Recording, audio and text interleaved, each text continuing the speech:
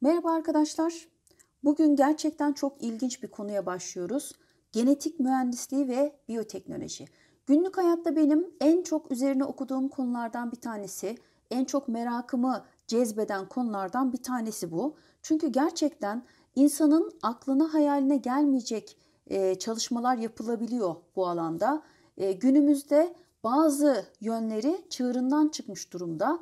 Bazı yönleriyle insan hayatını kurtarıyor, kolaylaştırıyor. Çok olumlu katkıları da var. Fakat kötü niyetli insanların eline bırakmamak gerekiyor diye düşünüyorum. Şimdi biyoteknoloji ne demek? Bununla ilgili nasıl çalışmalar yapılıyor?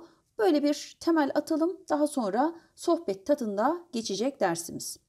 Biyoteknoloji, doğa bilimleri ve çeşitli mühendislik dallarından yararlanarak DNA teknoloji, teknolojisini kullanarak yeni bir organizma elde etmek, var olan bir organizmanın genetik yapısında istenilen yönde değişiklikler yapmak veya ihtiyacı karşılayamayan ürünlerin daha fazla miktarda üretilmesini sağlamak amacıyla kullanılan yöntemler e, bilimi. Böyle bir bilim dalı. Yani biz yeni bir organizma üretebiliyoruz. Genetik yapısını değiştirebiliyoruz ve daha fazla ürün elde edebiliyoruz bu yöntemlerle. Biyoteknoloji genetik mühendisliği yöntemlerini araç olarak kullanır arkadaşlar. Aralarındaki temel e, fark ve iletişim aslında bu şekilde. Biyoteknolojik yöntemlerle neler üretilebilir? Protein üretilebilir mesela. Antibiyotik üretilebilir. E, çeşitli e, proteinler, bu antibiyotikler insan hayatında çok büyük etkileri olan şeyler. Antibiyotikler mesela öldürücü bakterilerle mücadele etmemizi sağlıyor. Fakat bilinçli olarak kullanmak gerekiyor tabii. Çeşitli hormonlar üretebiliyoruz. Mesela insülin hormonu, büyüme hormonu gibi şeker hastalığına, cüceliğe çözüm e, aranıyor bu, bu sayede. Çeşitli antikorlar üretebiliyoruz. İşte virüslere, bakterilere, mikroorganizmalara karşı bağışıklık sistemimizi güçlü tutmak adına yeni özelliklere sahip sebze ve meyvelerin üretimi yine biyoteknolojik yöntemlerle mümkün. Mesela e, altın pirinç diye bir pirinç var. A vitamini üretiyor. Ya da işte patates e, yediğinde bir çocuk aşılanmış olabiliyor bu yöntemler sayesinde. Tıbbi bitki ve çiftlik hayvanı üretimi yapılabiliyor. Çok önemli bakın yapay organ ve doku üretimi yapılabiliyor. Bu sayede e, organlarını kaybetmiş olan insanlar mesela karaciğer kanseri olmuş, işte böbrek yetmezliği olan, e, kolunu bacağını kaybeden insanların bu şekilde e, hastalıklarına çözüm bulunabiliyor. Atıkların yeniden kullanılabilir hale getirilmesi yine bu yöntemler sayesinde mümkün. Mesela biyoteknolojik yöntemlerle e, üretilen bir bakteri kanalizasyon suyu diyeceğimiz ya da işte petrol karışmış bir e, deniz diyeceğimiz bu tür e, atık maddeleri e, ortamları ne yapabiliyor? Temizleyebiliyor. Biyoteknolojinin faydalandığı bilim dallarından biri nedir arkadaşlar? Genetik mühendisliğidir. E, genetik mühendisliği ne araç olarak kullandığını söyledim biraz önce. Genetik, genetik mühendisliği genlerin izolasyonu, çoğaltılması, nükleotit dizilişlerinin belirlenmesi, farklı canlıların canlıların genlerinin birleştirilmesi ya da bir canlıdan başka bir canlıya gen aktarılması gibi çalışmalarla uğraşıyor. Böylece canlıların genetik yapısını değiştirerek onlara farklı özellikler kazandırmamız sağlanıyor. İşte mesela bir bakteriye gen aktarımı yapabiliyoruz. Daha sonra bu gen aktarımı yaptığımız bakteriyi bitkilere aktarabiliyoruz. İşte bitkiden bitkiye, hayvandan hayvana, bakteriden hayvana, yine bakteriden bitkiye bu şekilde gen aktarımıyla yeni özellikler kazandırabiliyoruz. Biyoteknolojinin çalışma alanlarının başında genomik, proteomik ve biyoinformatik geliyor arkadaşlar. Daha önceki derslerimizde protein sentezinin aşamalarından bahsettim size. Santral dogma diye bir e, kavramdan bahsettim. DNA üzerinden mRNA sentezleniyordu ki biz buna transkripsiyon diyorduk. Daha sonra translasyonla e, çeşitli polipeptitler oluşturulup Bunlar da kendi aralarında katlanmalar yaparak proteinler oluşuyordu. Bu proteinler bazen yapısal bazen işlevsel olarak kullanılabiliyordu. İşte DNA üzerindeki genetik bilginin tamamına genom diyoruz. Bununla ilgili çalışmalara da genomik diyoruz. Ee, bizim vücudumuzda çok fazla çeşitte protein üretilebiliyor. Sadece bizde değil, diğer canlılarda da. İşte doğadaki bu protein çeşitliliğinin sebebi aslında e, bu şekilde şifrelerin aktarımıyla amino asitlerin sırası, sayısı ve dizilişinin farklı olmasıyla yeni yeni proteinlerin oluşturulabilmesi. Bir tane amino asitin yeri değişse protein çeşitliliği değişiyor. Bir tane amino asit fazla olsa, eksik olsa, farklı bir sıralamayla gelse farklı bir protein üretilebiliyor. İşte protein üretimiyle ilgili, protein çeşitleriyle ilgili yapılan çalışmalara da biz proteomik diyoruz. Genom neymiş? Bir organizmanın DNA'ları üzerindeki genetik bilgilerin tamamı. Organizmaların genomları üzerinde çalışan genomik bir organizmanın tüm DNA dizil, e, diziliminin belirlenmesi, genom organizasyonu ve gen ifadesinin kontrolü çalışmalarını içeriyor. Genomik dediğimizde aklımıza bunlar gelecek. Peki proteomik kavramı nedir? Bir organizmada genom tarafından kodlanan tüm proteinlerin sistematik olarak çalışıldığı bir disiplindir proteomik. Bir de arkadaşlar bioinformatik diye bir kavram var. Şu matikten matematik aklınıza gelsin. E, bio zaten biyoloji. Bir de bunun bilgisayar teknolojisi, teknolojisiyle birleştirilmiş halini düşünün. Biyolojik bilgilere bilgisayar teknolojisini ve matematiği uygulayarak karmaşık biyolojik verileri derleyen, analiz eden bilimsel bir disiplin. Şimdi model organizma kavramından bahsedelim biraz. Önce model organizma nedir? İnsan için model organizma olarak ne kullanılıyor? Bunlardan bahsedelim. Model organizmalar bilim insanlarının üzerinde çalışılması zor olan diğer türler hakkında bilgi edinmek için kullandıkları canlılardır. Mesela Drosophila melanogaster böyle bir model organizma. Escherichia coli yine bizim üzerinde çalıştığımız bir model organizma. Genetik çalışmalarda kullanılacak iyi bir model organizmanın özellikleri neler? Bir kere kolay büyüyebilmeli. Kısa sürede nesil verebilmeli. Birçok yavru üretebilmeli. Kolayca mutasyona uğratılabilmeli ve kolayca çaprazlanabilmeli. İşte bütün bu özellikleri taşıyorsa e, biz onu model organizma olarak kullanıyoruz. Mesela Drosophila melanogaster insanda bulunan çeşitli hastalık genlerini taşıyor. Bundan dolayı bu canlı kullanılarak insan genlerinin fonksiyonu hakkında bilgi edinebiliyoruz.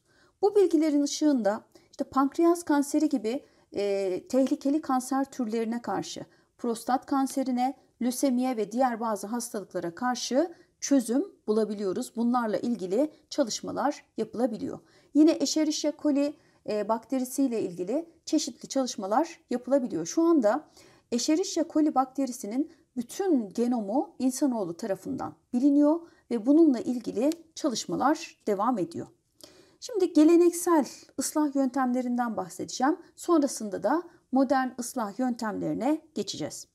İnsanlar arkadaşlar yüz yıllardan beri geleneksel ıslah çalışmalarıyla melezlemeler yapıyorlar ve istenilen özellikle bitki ve hayvanlar üretiyorlar. Bir anlamda gen mühendisliği çalışması yapıyorlar. Geçmişte işte e, lahananın, marulun atasını internetten bakın çok ilginçtir. Böyle bir ot, ota benzer bir yapıda aslında. Ne yapmışlar e, eskiden çiftçiler? İstedikleri e, canlıları birbirleriyle çaprazlıya çaprazlıya istedikleri yönde onları ne yapmışlar? Melezlemişler ve istedikleri özellikleri ortaya çıkarmışlar. İşte mesela e, evcil olmayan e, kurttan işte evcil köpekler elde etmişler. Bugün birçok evcil köpek var. Yine bir sürü e, kedi e, karşımıza çıkıyor birbirinden farklı özellikle. E, sürekli geçmişten beri insanoğlu bunu hem bitkiler hem de hayvanlar üzerinde yapmış. Fakat geleneksel ıslak ıslah çalışmaları faydalı Fakat çok uzun zaman alıyor. Çünkü yeni bireye istenilen genlerle beraber istenmeyen genler de aktarıyor. Çünkü orada tam anlamıyla hücresel bir seçim yapamıyorsunuz. E, canlının kendisini seçiyorsunuz. Yani istediğiniz özellikteki canlıyı seçiyorsunuz. Ama orada biliyorsunuz mayoz bölünme var, döllenme var. Dolayısıyla çeşitlilik olması e, çok mümkün. Bu nedenle değerli bir bitki ya da hayvan türü bulabilmek için binlerce eşlenmenin yapılması gerekir. Geleneksel ıslah yöntemlerinin dezavantajı bu. Kime göre? Modern ıslah yöntemlerine göre. Islah amaçlı kullanılabilen genetik materyal oldukça sınırlı. Çünkü sadece anne ve babanın DNA'larıyla çalışılmakta.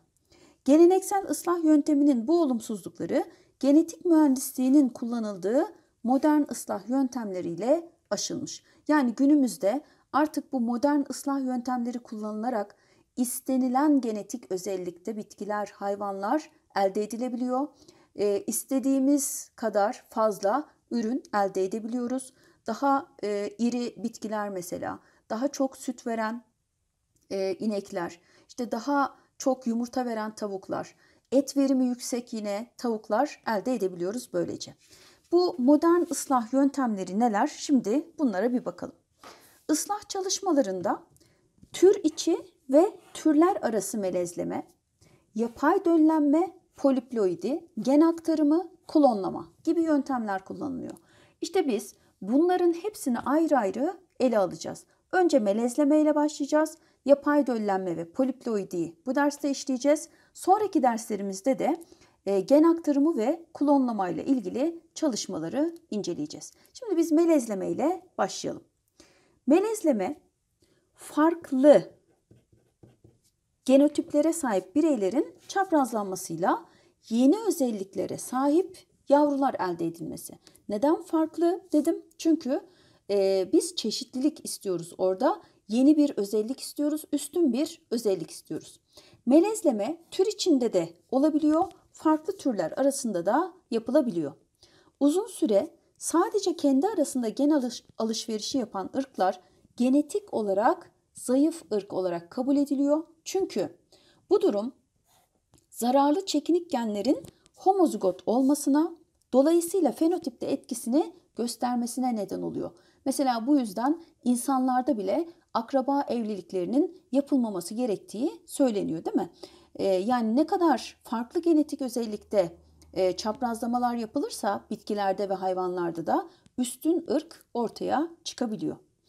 İşte bu şekilde arkadaşlar farklı karakterler bakımından homozigot ırklar arasında çaprazlama yaparak yine e, farklı ve üstün özelliklere sahip ürün elde edebiliyoruz. Üstün özelliklere sahip ve aynı zamanda melez bireyler elde edebiliyoruz. Örneğin et verimi düşük, süt verimi yüksek sığırlarla et verimi yüksek, süt verimi düşük sığırlar çaprazlanıyor. Ne istiyoruz? Hem süt verimi yüksek olsun hem et verimi yüksek olsun. Bunları çaprazlayarak yüksek et ve süt verimine sahip ticari değeri daha yüksek olan sığırların üretilmesi işte bu modern ıslah yöntemleriyle mümkün. Peki yapay döllenme e, nasıl bir yöntem? Şimdi buna bakalım. İstenilen üstün özelliklere sahip hayvanlardan alınan spermler saklanıyor. Uygun zamanda yumurta hücresini döllemek için kullanılıyor. Bakın burada daha kısa sürede ve daha e, garantili bir durum var. Neden? Çünkü istediğimiz özellikte, istediğimiz genetik özellikte spermlerle istediğimiz genetik özellikte yumurtayı dış ortamda döllendirip e, rahmine yerleştirebiliyoruz. Yine ineklerle ilgili bunun e, bunun çalışmaları var. İşte sperm bankaları kuruluyor. Oradan istenilen özellikler bulunup o özellikteki spermler yumurtayla döllendiriliyor ve oluşan embriyo e, rahme yerleştiriliyor. Böylece istenilen özellikte hayvanları elde etmiş oluyoruz. Şimdi gelelim poliploidi dediğimiz yönteme. Hücrelerdeki kromozom sayısının 3'en veya daha fazla olması durumu yani işte 4'en, 6'en şeklinde olabiliyor. Buna biz poliploidi diyoruz. En haploid, iken diploid demiştik. E, poliploid de neymiş demek ki? Kromozom sayısının 3'en ve daha fazla olması durumu. Kimlerde daha çok görülüyor ya da uygulanıyor? Bitkilerde arkadaşlar. Bitkilerde görünme oranı hayvanlardan daha fazla. Hayvanlarda da uygulanıyor fakat günümüzde en çok bitkilerde poliploid olarak e, karşımıza çıkıyor. Poliploid bitkilerin çiçek, meyve, tohumları diploid bitkilere göre daha büyük oluyor arkadaşlar.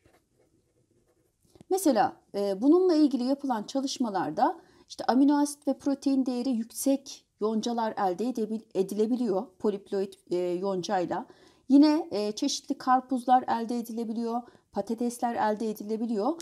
E, onların meyve ve tohumlarının büyüklüğü oldukça fazla oluyor. Bu nedenle poliploid bitkiler özellikle tarımda ekonomik değeri yüksek tahıl, sebze, meyve, süs bitkileri üretiminde tercih ediliyor. Kimlerde görülüyor daha çok? İşte çilekte, patateste, muzda, çekirdeksiz karpuz üretiminde, elma gibi bitkilerde poliploidi çalışmaları görülüyor. Evet arkadaşlar bununla ilgili şimdi birkaç soru çözelim. Daha sonra konumuza kaldığımız yerden devam ederiz. Hepinize iyi çalışmalar.